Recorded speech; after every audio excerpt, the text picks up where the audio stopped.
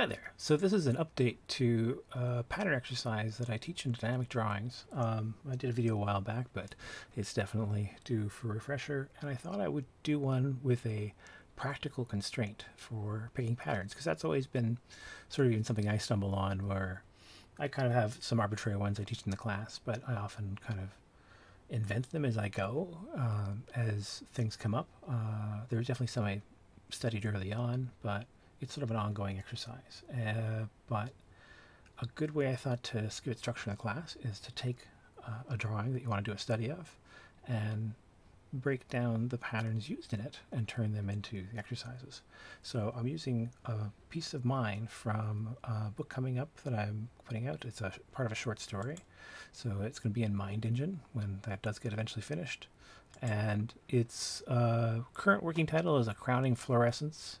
Um, I'll leave it at that. Uh, and then it was inspired by the pandemic. So I wanted this really intense, the, the people living in this space painted that door. And I liked this sort of epic first shot opening visual. The patterns are um, busy, but the complexity is a bit of an illusion, I think, at least from how I look at it now. Um, and part of it helps is that I'm used I've used things here that I know well and have practiced before. So I'm going to break them down into a set of practices, uh, pattern exercises, and then also uh, show you some others you could do probably if they occur to me along the way. So I want to try to size this area in the camera frame nicely. And so I have ulterior reasons for for doing that because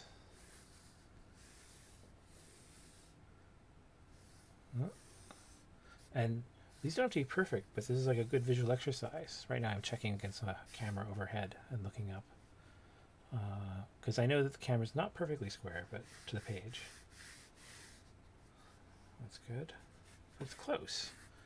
But also, what I'm going to tell you to do is take like an 8.5 by 11 sheet Right now I'm using 11 by 17 because it fits in the camera shot. It gives me a nice clean canvas. But 8.5 by 11 should fit nicely in there. And then I want you to draw in this closely. And when you're doing like the edge of the paper, let me show you this as I say it. Then just use sort of your own finger as the measure. Uh, careful not to rub hard because you don't want to give yourself a paper cut, but just gently, the sense of touch.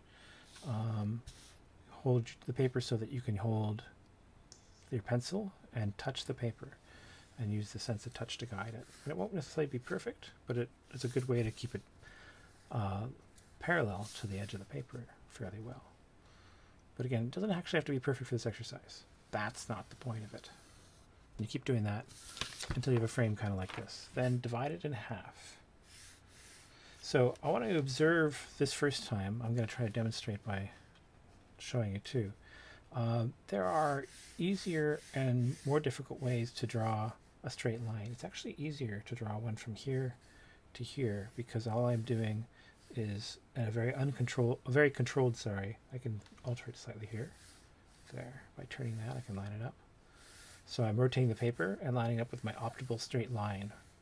And what I'm doing right now is just using the large hinges of my upper arm. So if you look at the small video, see what you can see here. So my elbow is swinging across and my shoulder is lifting, and that cancels out each one's uh, internal arc. If I just did my elbow, I'd get a, an arch. If I just did my shoulder, the pencil would leave the paper. So we combine the movements to create a linear line, isolating those uh, large muscle groups is something every time you have to do large line forms you can exercise you can do as an exercise. If you don't, if you want to say draw draw just this way, it's possible, but it's actually more challenging. But then maybe that's a reason to do it some. So divide it in half. Now I'm going to divide those halves into halves. This becomes an exercise in seeing proportion. Try to make your halves as accurate as you can without using a ruler. Not because you can't use a ruler, you can grab a ruler, but as a, a mental exercise, a visual exercise the eyeballing of spaces and seeing. And halves are the sort of the easiest things to see if you spend a little time practicing.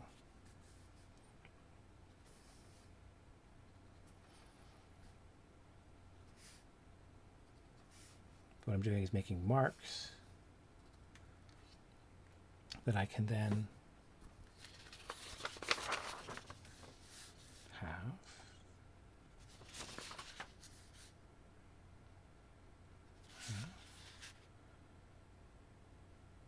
That close enough. And do I want to? Yeah, I want to more. So I may not use all of these cells as single cells, but I think I want the option to make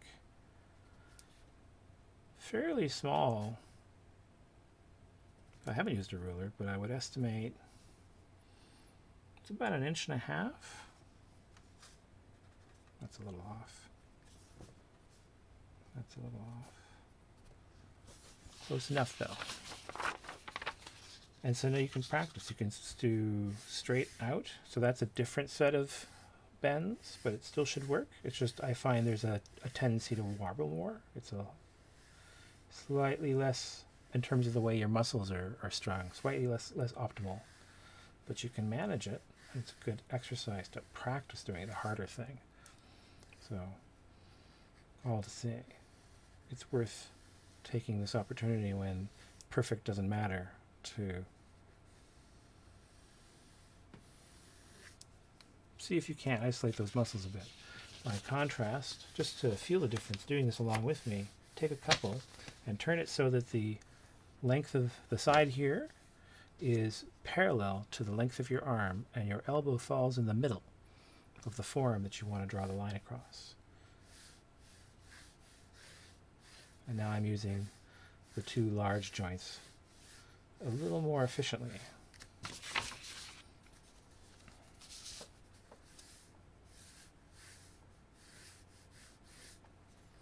That was uncomfortable. Let's get my shoulder down, not hunched. Tension is not your friend.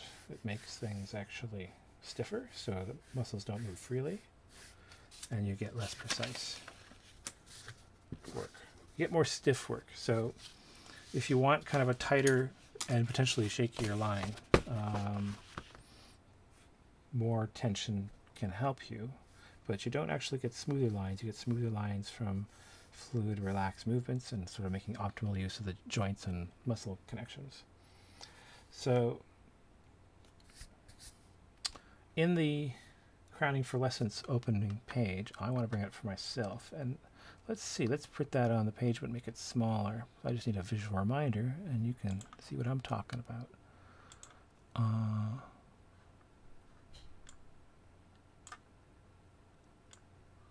I don't need this corner over here so much. Yeah. That's cool. There we go. So, one of the easiest bits, I'm going to angle the paper slightly to favor my hand, is the vertical hatching I use for a lot of the shading in around uh, the lower areas on the wall and in general in the the uh, skull. Uh, I changed the angle on the skull to help differentiate it from the background. The, the wall is very vertical because it's very flat to us. And I used feathered, about inch long lines that I didn't try to too perfectly blend, but I did in somewhat controlled waves. I'm using the feathering to help them blend, but actually trying to get a little bit of texture. And so here's what I'm going to do. I'm going to use these four squares and show how to practice modulating that. So here we want the highlight, the spacing gets lighter, the lines get shorter.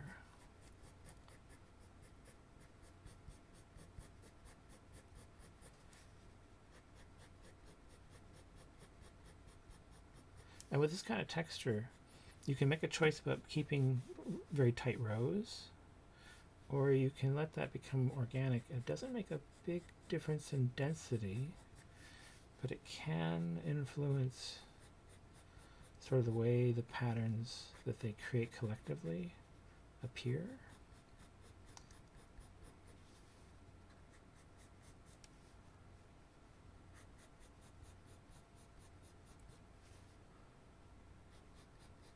So right now I'm doing this with a, a Col-Erase pencil that's black. So it's a little different than graphite. Uh, one of the things I like about it the most is that it does not smudge nearly as much.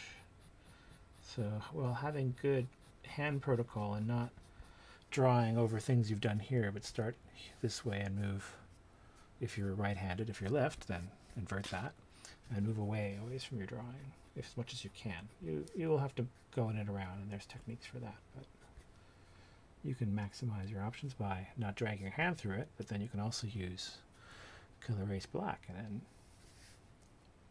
it happens, but it's much less prone to it. So what else did I use? I used flowers, and I have a lot of different patterns I, I do for flowers, but the one I did for this is two basically. There's the face of the flower. That's pretty much it. So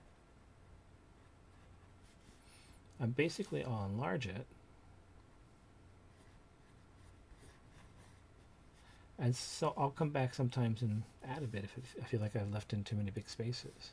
But what I'm basically doing is if you slow down, you're drawing something like a three-sided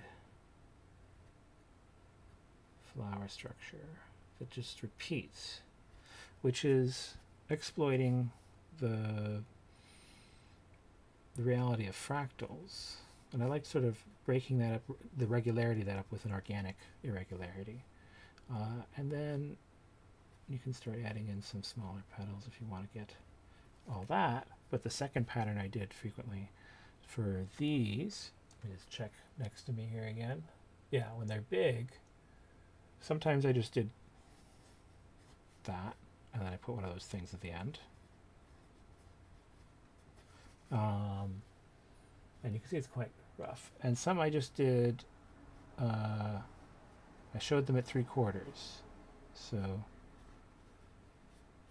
you start seeing one side. And then they have leaves.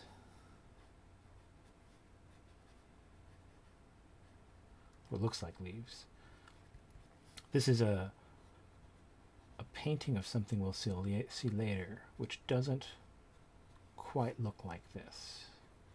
It's an idealized symbol for the thing. And so like, unlike this, this kind of pattern is less regular, but there are still regularities. So there are still constraints you can experiment with. So fill an eighth of the page with experiments in leaf and floral form.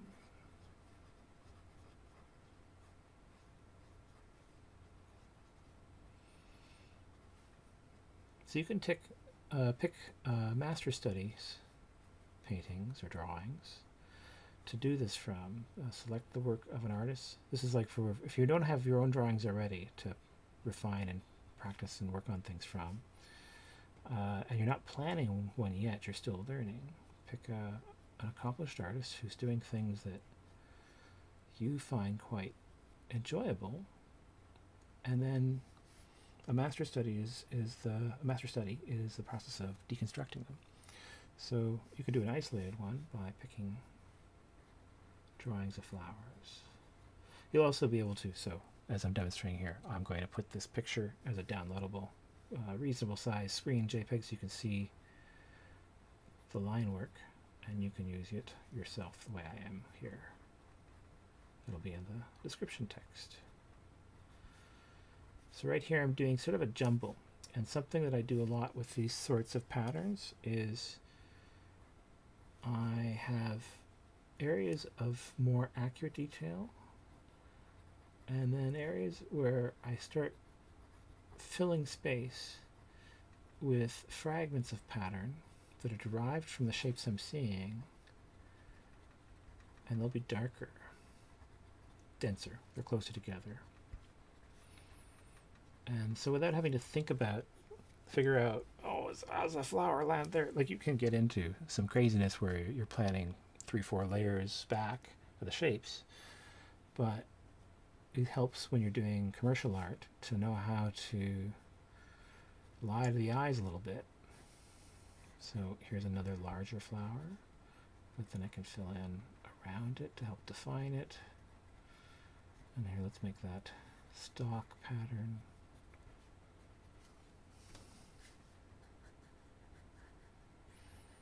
Let's do some fringing to have fun with. I'm starting to see a shape that I didn't really plan, but I like. So I'm going to turn this pattern into a full-fledged doodle. And I define the difference being that, to me, doodles are like fun improvisational art that you didn't plan to make, but happens along the way. Um, they're a little more intentional than a scribble.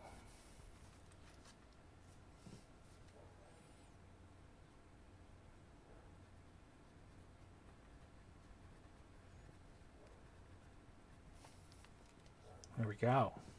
Some flowers. What else did I have? Wood.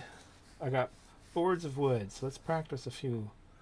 Yeah, they're irregular too. So I'm, I'm thinking about a, uh, an old industrial loft I lived in in my, my late teens on uh, Dupont Street in Toronto. A big two-story Hamilton gear building, and the upper floor was rented out by people who didn't really care that we were living in it. Um, wasn't really meant to. I had a, a glass sandblasting place next door that probably wasn't healthy to live next to, and uh, would fire up their their uh, sandblasting machines pretty regularly and on weekends. So, good morning. Um, pottery shop on the other side. They were cool ladies. I didn't really talk to them about much. And then later on, the sandblasting people got replaced by. No, actually, they did. They just moved over a unit, and then another pottery shop on the other side of me. It's a cool building to be in for that period of my life. It had actually been the uh, workshop of a special effects uh, team that had worked on The Fly, David Cronenberg's The Fly, and they had props from the movie in the space for storage still when we came to visit it, check it out. It was a fly pod, and we inherited a bunch of fake uh, tombstones, styrofoam tombstones that had been. There was a scene that was cut where, um, what's his name? Something Fly. So after the accident, Jeff Goldblum's character walks past a uh, a, uh, a tomb yard, a gravesite. There we go. Um, um, they wanted to fill it in. So they did a bunch of fake ones. They didn't really care how they looked up close, so they were pretty crude and kind of funny. Um, I had them on the wall coming in the door for a while. It's a cool space. Um, where am I going to put them? Let's use that space. So the floorboards in some parts of the building. Oh, it's good to me. Being drinking lots of soda. They're very regular.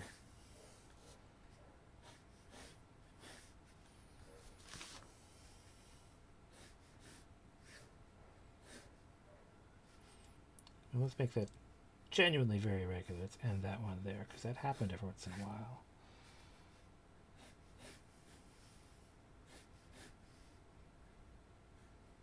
Let's do another one. Once is an accident, twice is a pattern.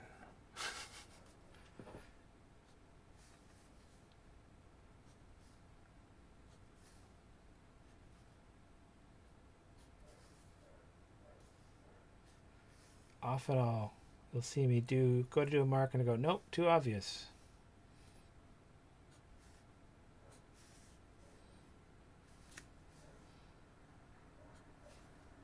So I'm trying to find an interesting visual rhythm that feels just slightly chaotic. I did these in perspective in the drawing, you can see at the bottom, but it's basically the same idea. And then I want to just do light. Uh, so in the ink, I used uh, like a 1, a point 0.1 pen and very lightly dragged it back and forth in these long and sometimes spirally loopy patterns. I would try not to do that too much, so I'll have patterns that don't repeat through, but it's okay if some do accidentally, because the true sign of randomness is that coincidences occur.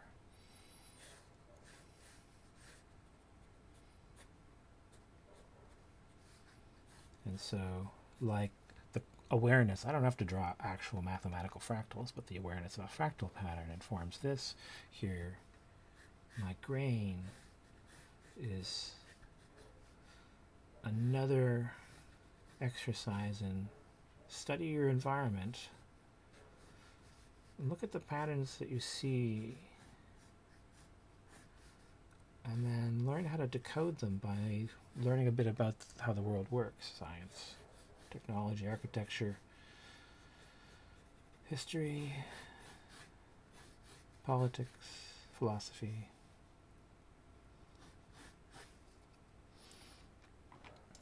I'm going to do a little cleanup on this one afterwards. Not anything major, this is just a rough pattern exercise study.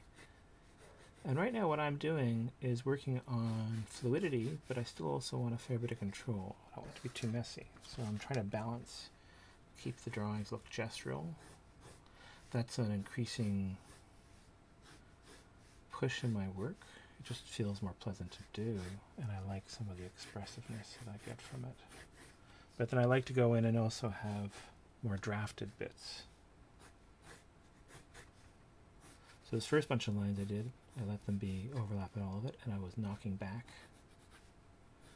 as I was talking, because doing two things at once is never such a good idea, but it worked. Uh, and if you want to get into like some visible nail holes, that happens sometimes, and they weren't always in the same places. Like they would be often at those points, but often what you would do is see them line up across the boards because of course they are in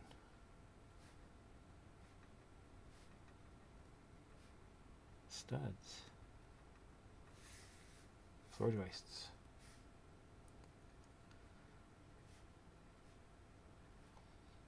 I'm better remembering the names of uh, architectural, engineering, structural elements am anatomy parts. I just want to know where they are when I do anatomy. I don't don't care about what it's called too much. It does it doesn't help me remember things better. It's the actual mechanical doing, the muscle memory of many drawings of anatomy. So there's our floorboard pattern. Uh, diagonal hatching on a compound contour for the illusion of uh, so there's two things going on there. There's in the painting there's lighting coming this way but in reality I have lighting coming this way. So I'm going to ignore this one because it's actually a structural element and all I was doing is going down the side. I'm not ignoring it. I guess I'll duplicate it. All I did is go down one side over the drawing and have the directional line of the light sort of indicated, but also I did it upwards to blend it with the tone of the painting, which is kind of not directionally indicated. It's actually against it. Like, I really wanted to go with the direction, it should be down. But I have it going up because it creates sort of a, a poppy effect and that does disagree a little bit, but then it also blends in with the art stuff.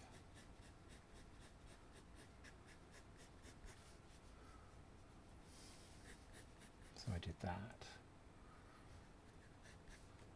So I'm suggesting the, the brow line of the skull, and then I also have a couple where I broke my rule, where I did this, and I really should have done it this way, but with that short line, I didn't like the idea of the little short jagged lines. I didn't think it would work well. I returned to something like the same angle for this side. Uh, there's a bit of winding there. And then there was some more below, but what I'm going to do is just show how I would shade in what are in the drawings, the orbitals. Actually, I should do that. Yeah. So I'm going to shade in a little bit, make this like an under drawing. It's another variant on the floral pattern, but it's not actually the same one. It's uh, noise meant to be looked at. So let's come out the same area so I can look at it while I'm doing it. Oops, bump the camera. Uh, yeah, so at the center point, I did a clearly visible floral rose, sort of like the eyeball is. And then I had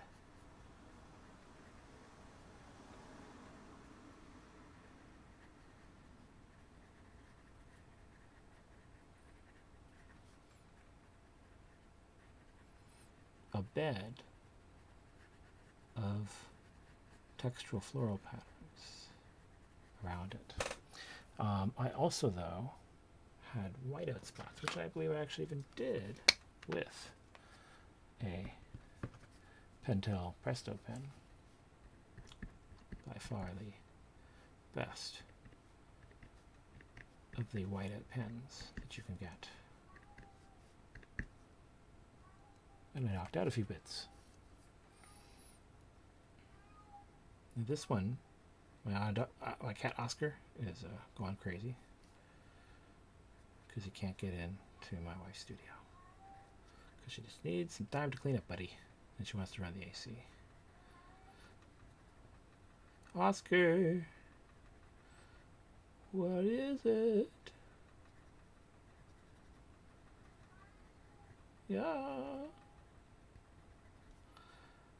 So small patterns.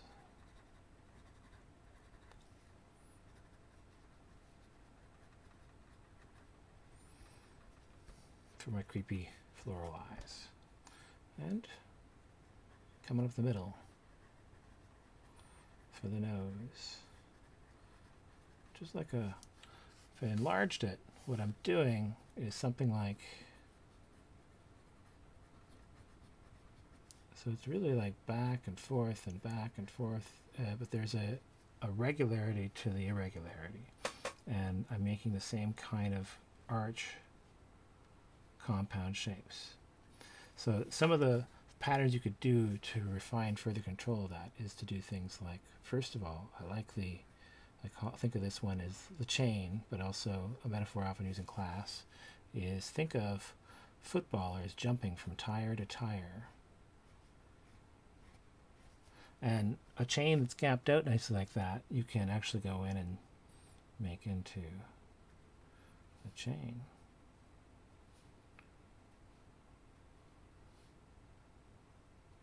And then last thing you need is a little bit on each side. So it's a cartoon chain.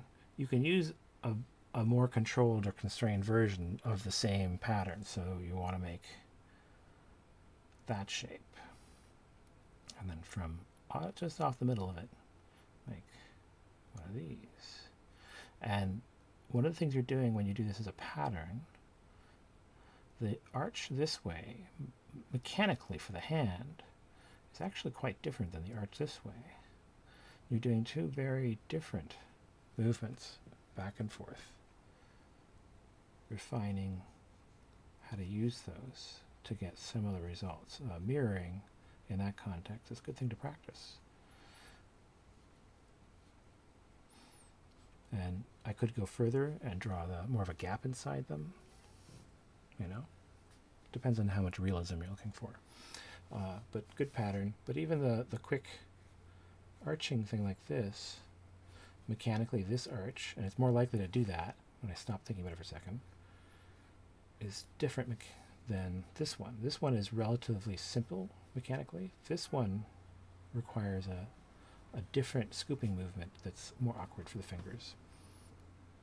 So working on making them similar is good practice.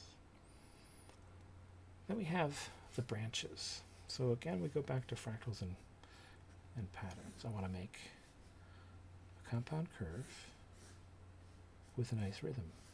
And then I'm going to say uh, it's, it's like an ivy sort of branching pattern. I'm going to split off this one and then alternate. And then alternate. And notice I'm keeping the spacing relatively even. I don't necessarily want to leave it that way, but it sort of depends on how groomed or regular or healthy a life this plant has had. A super healthy plant that's had no interference. So you know it's altering off the outside. And then I go inside. Outside first, and inside. Outside first, then inside. And now I've got one that's long enough, it's going to start doing something interesting. I can start getting into the, the double curve again. And now I've done this next pass, so I can fill in a few more here, get this more balanced.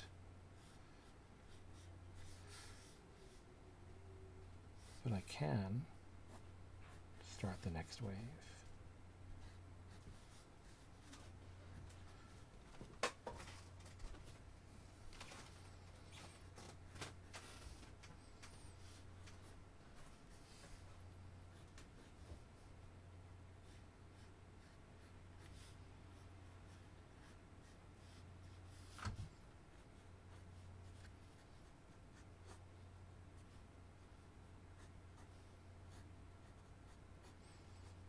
So following the fractal pattern takes a lot of the decision-making work out of starting laying in the lines. But then you can do things like, okay, I'm going to say something got broken off there and start working in some of the signs of life. So it got broken, and then started growing some more.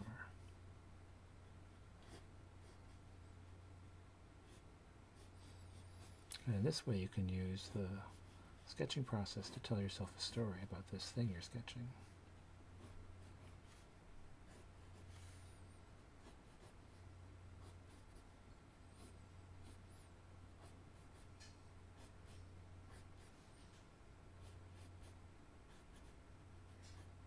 something broke that leaf, that branch, that branch.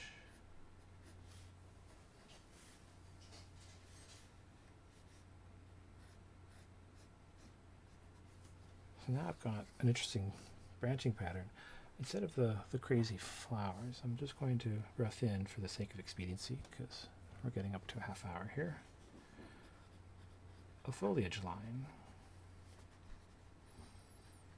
I want it to come in close, but not totally cover all of this. It just and maybe make it interesting. Don't just don't just make a round shape.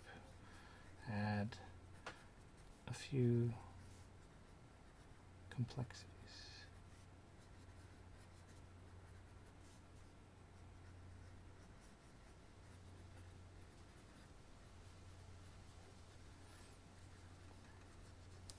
So that's just a boundary. Now I'm going to do small. So this is sort of like some of these patterns that I'm doing in the very dense areas and I talked about filling in here. For the lower part. Now you can invent your own, but I find this a very efficient pattern for when it's in tight enough I can go quite quickly without feeling too tense in the hand. I'm just making kind of a, a short, fast movement. I periodically need to stretch my hand, which is actually good to do. I like working a big ball of kneadable eraser that I keep. That's good. Doing hand stretches. I pop a lot. And I have ball bearings.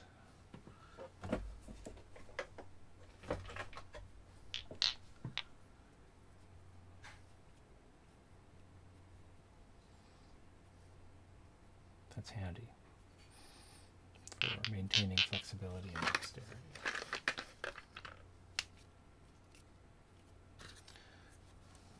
Let's sharpen it always good to sharpen tool. And it's definitely worn a bit. So that's going to give us a much cleaner line too.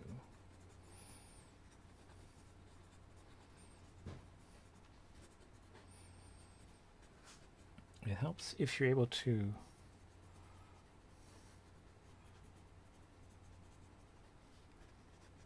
Well, even I saw me doing this a minute ago.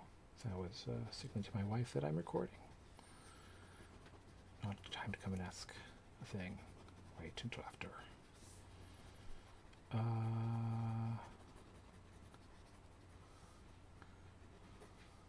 I wish I had like a red light I could but turn on. I could probably build that, couldn't I? I should do that. You know what? I have a, a red glass exit sign.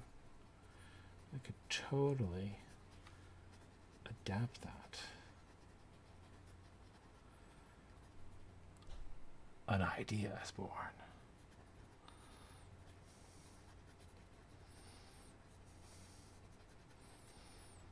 And I think, you know, this kind of uh, pattern, mixed pattern exercises and line control exercises will be fun for students to do because you end up with a fairly full and interesting page in your sketchbook or a sheet of paper.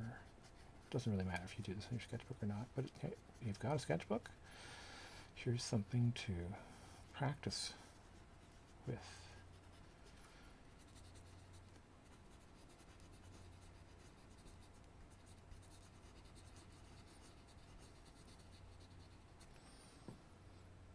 Now, you could also use these squares for smaller patterns that you don't necessarily want to do as large an area of. And that's usually what I do, is just fill a bunch of the squares. I'm thinking pebbles now. Close to that, but smaller patterns, little pebbly shapes that look like a bush.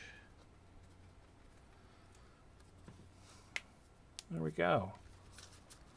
Little involuntary composition exercise breakdown, doing pattern exercise based on the drawing from Crowning Fluorescence coming up in Mind Engines. Um, I hope you find that entertaining, but also like do it because it's it's good practice. See you in the next video.